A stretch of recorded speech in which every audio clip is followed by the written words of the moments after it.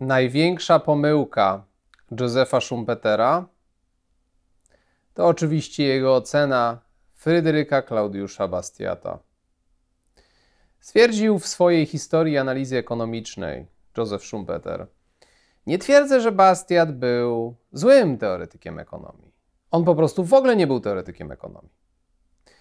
Na domiar złego, Bastiat jest nie tylko niedoceniony przez tego najwybitniejszego historyka myśli ekonomicznej, ale nawet przez tych, którzy go bardzo szanowali i lubili, na przykład przez Maria Rothbarda.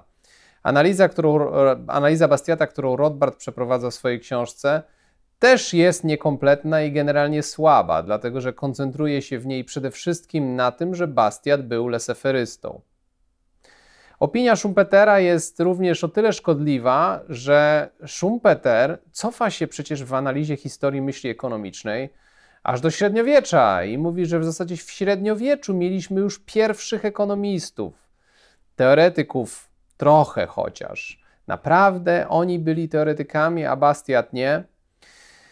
To podejście jest też powtórzone przez Blauga oczywiście, bo no Blauk z kolei ma takie uzasadnienie, że jego interesuje głównie ta strona analityczna, wręcz matematyczna, byśmy powiedzieli, ekonomii, więc jego podejście jeszcze można zrozumieć. Natomiast podejście Schumpetera jest kompletnie niezrozumiałe. Do jakiegoś stopnia można to uzasadnić tym, że Bastiat zajmował się pamfletami i ekonomią polityczną, ale oprócz tego napisał również bardzo ważny traktat ekonomiczny, Ekonomiczne Harmonie. I zanim powiemy o tych stronach Bastiata, o których wiele osób mówi, skupmy się właśnie na tym, co jest szczególnie u niego istotne, a co pozostaje do dzisiaj niezauważone przez wielu komentatorów.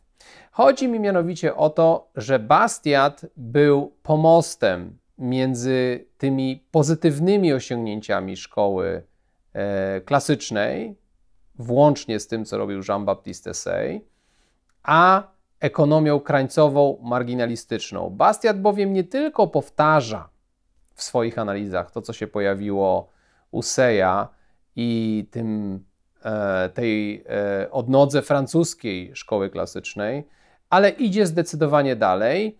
Zaczyna między innymi od tego, że uważa handel za kluczowy element teorii ekonomii. W szkole klasycznej bardziej koncentrujemy się na dwóch innych aspektach. Koncentrujemy się na teorii produkcji i na teorii dystrybucji. To są takie dwie, dwa najważniejsze elementy. Wręcz w pewnym momencie teoria dystrybucji zaczyna nawet dominować nad teorią produkcji. Bastiat natomiast zwraca uwagę na to nie. Teoria wymiany i handlu jest zdecydowanie istotniejsza. I w odróżnieniu od swojego mistrza, Seja, zwraca uwagę na to, że handel jest E, rzeczą, na której zyskują obie strony transakcji. I od razu chcę podkreślić, że to nie jest rzecz, która była całkowicie obca szkole klasycznej, bo to tak brzmi trochę takie trywialne, trywialne stwierdzenie, że handel nie jest grą o sumie zdrowej, zyskują obydwie strony.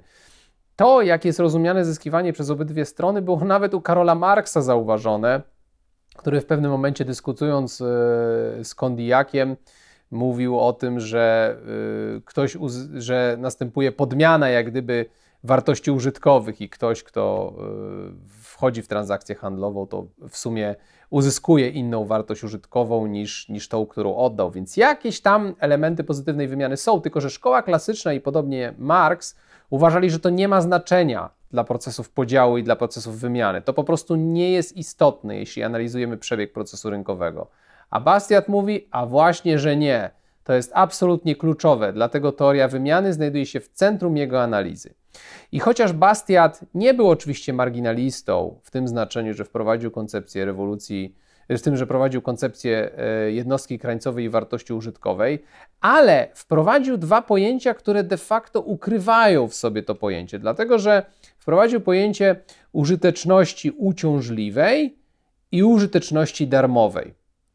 To, co było charakterystyczne w szkole klasycznej, to odłączenie użyteczności od teorii wyceny. Teoria wyceny jest sobie, a użyteczność jest sobie. To właśnie dlatego dla szkoły klasycznej nie miało znaczenia, czy na handlu zyskują dwie strony, czy nie zyskują. Czy czasami, tak jak Say, pojawiało się określenie, że jest ekwiwalent wymiany, że jest równość w wymianie. Nie dlatego, że wartości użytkowe są identyczne, bo przecież nie są, ale dlatego, że wartości użytkowe nie grają roli, a liczy się pieniężna wycena i tu kluczowy jest ekwiwalent. A Bastiat mówi nie, nie ma równości w wymianie i to ta nierówność w wymianie da się połączyć, właśnie ten element użyteczności da się połączyć z elementem wyceny i Bastiat to czyni, wprowadzając pojęcie użyteczności darmowej i użyteczności uciążliwej. Generalnie sytuacja wygląda tak, że jak mamy więcej zasobów i więcej dostępności, więcej produktywności, to zwiększa się stopień użyteczności darmowej. Natomiast jak mamy tych zasobów mniej i wymaga to od nas większych nakładów, to mamy w większym stopniu użyteczność uciążliwą. W ten oto sposób Bastiat poniekąd kamufluje u siebie pojęcie użyteczności krańcowej, dlatego że w miarę jak rośnie zasób danego dobra, to zwiększa się stopień użyteczności darmowej. Natomiast jak danego zasoba jest mniej, to w większym stopniu mamy do czynienia z użytecznością uciążliwą. Dalej Bastiat w oparciu o to wprowadza swoją koncepcję e, wartości bazującej na usługach, wartości rynkowej. Usługi, e, czy, czy wartość generalnie danego dobra na rynku jest zależna od tego, jakie usługi trzeba wykonać na rzecz realizacji danej, danego stopnia użyteczności, w zależności od tego, czy jesteśmy bliżej użyteczności uciążliwej, czy użyteczności darmowej. Innymi słowy, w zależności od tego, jeśli chcielibyśmy to przetłumaczyć na język marginalistyczny, w zależności od tego, czy użyteczność krańcowa jest wyższa, i wtedy byśmy powiedzieli, że jest większa użyteczność uciążliwa językiem Bastiata, czy też użyteczność krańcowa jest niższa i językiem Bastiata jeszcze wtedy byśmy powiedzieli, że jest to bliżej użyteczności darmowej. W ten oto sposób możemy powiedzieć, że na przykład słońce dostarcza nam użyteczności, ale to jest użyteczność praktycznie darmowa, de facto darmowa tak naprawdę. Coś, co jest blisko e, produkcji energii ze słońca, to by była użyteczność mniej darmowa, ale cały czas blisko tej darmowej.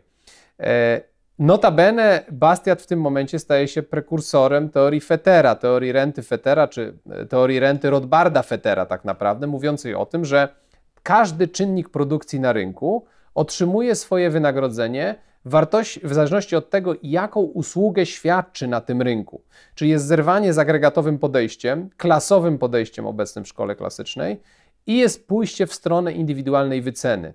Więc Bastiat nie tylko tworzy e, grunt pod to, żeby wejść w teorię użyteczności krańcowej ze strony konsumenta, ale również tworzy grunt pod to, żeby wejść w teorię krańcowej wyceny czynników produkcji.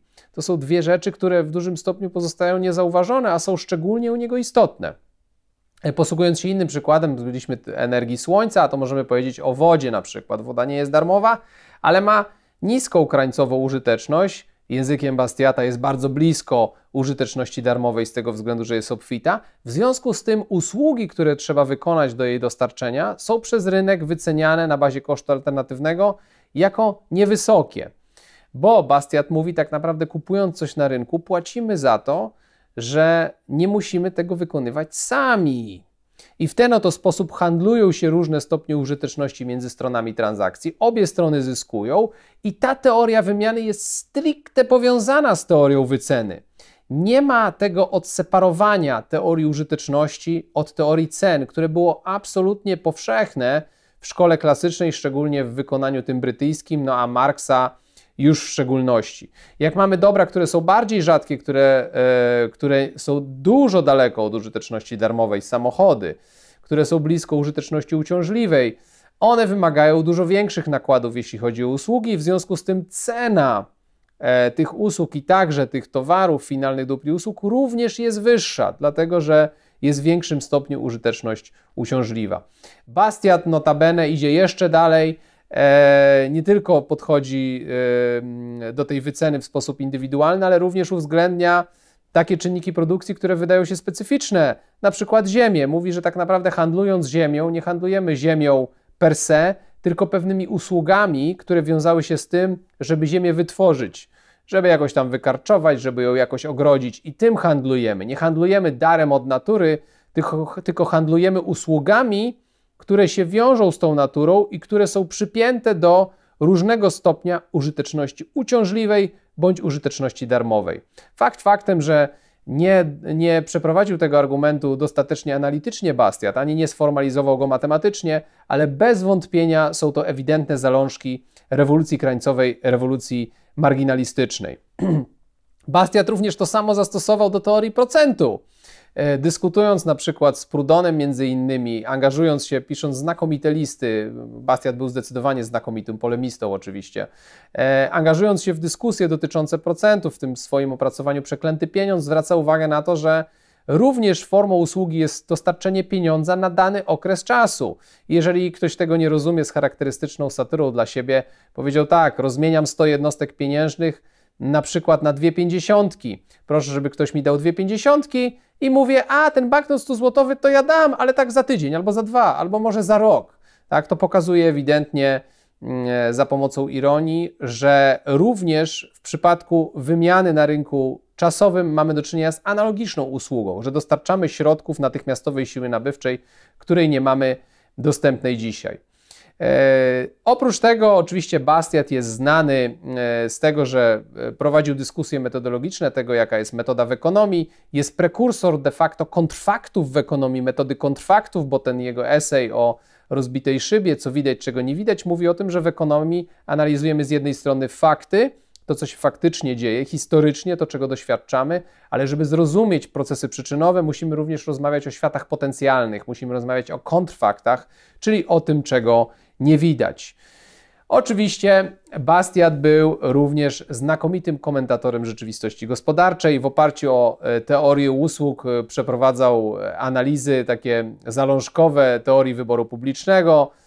Jest autorem tej słynnej petycji producentów świec, którzy złoszczą się na to, że słońce jest darmową, słońce jest nieuczciwą konkurencją, ponieważ dostarcza swoich usług praktycznie bezkosztowo i za darmo, i to niestety sprawia, że wielu producentów świec nie może efektywnie znaleźć swojego rynku zbytu, więc należałoby wprowadzić pewne cła, które polegają na zasłanianiu okien, czy w ogóle zakazie budowania okien, może nawet najlepiej, tak żeby zmusić do tego, żeby te świece kupować.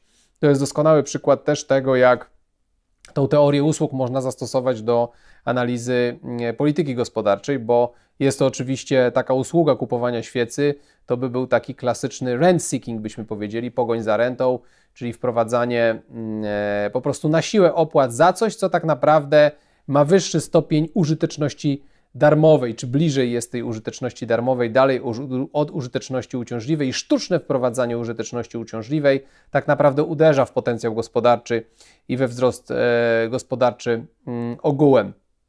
E, Bastiat e, również w tej swojej analizie faktów, kontrfaktów, tak naprawdę w pewnym sensie można powiedzieć, że idzie dalej. Jego obserwacje są ciekawsze niż obserwacje milowskie, bo Mill się skupił, John Stuart Mill się skupił na tych tendencjach, mówiąc o tym, że prawa w ekonomii to są pewne tendencje, ale w sumie, przepraszam, przecież pewne tendencje, one również zależą od warunków ceteris paribus, natomiast u Bastiata mamy w pewnym stopniu odejście od tej metody ceteris paribus, bo Bastiat mówi, że skupiamy się na tym, co widać, czego nie widzieć, w faktach, kontr faktach, kontrfaktach, a w kontrfaktach wcale nie musimy zakładać pełnego ceteris paribus, możemy zakładać E, że pewne inne czynniki również się zmieniają i nie, nie muszą to być zmiany, które są zamrożone, tak jak w klasycznym ceteris paribusowskim schemacie. E, Bastiat też e, jest autorem tego opracowania prawo, więc można powiedzieć, że w jakimś stopniu łączy ze sobą tą dziedzinę analizy instytucjonalnej z analizą ekonomiczną, oczywiście w bardzo zalążkowej formule, w takim stopniu, no, który no, jest nieporównywalny do tego, co osiągnięto w wieku XX, ale jednak zwraca uwagę na to, że analiza instytucjonalna musi być obecna w analizie ekonomicznej. E, to jego słynne prawo, które stało się bezprawiem, jest e, no, takim symbolem tego, że prawa własności, czy połączenie koncepcji praw własności z koncepcją ceny jest e, absolutnie konieczne do tego, żeby zrozumieć proces przebiegu,